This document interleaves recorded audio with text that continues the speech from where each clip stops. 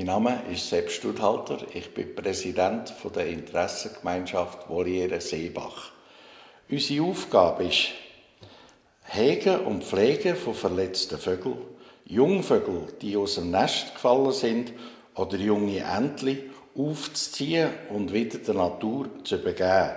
Junge Mauersegler, die abgegeben werden oder die gefunden werden, tut man bei Pflegeeltern ins Nest legen.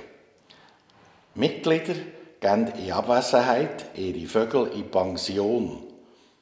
Tourgäste von Leuten, die nicht mehr selber ihre Vögel kümmern können, wir pflegen und hegen. Und wenn sie noch jünger sind, tun wir sich auch neue Nester suchen für die. Was wir noch machen, wir ziemlich viele Führungen für Schulklassen. Für Schulklassen. Wir sind ein Verein und haben über 200 Mitglieder. Werden auch Sie Mitglied von unserem Verein?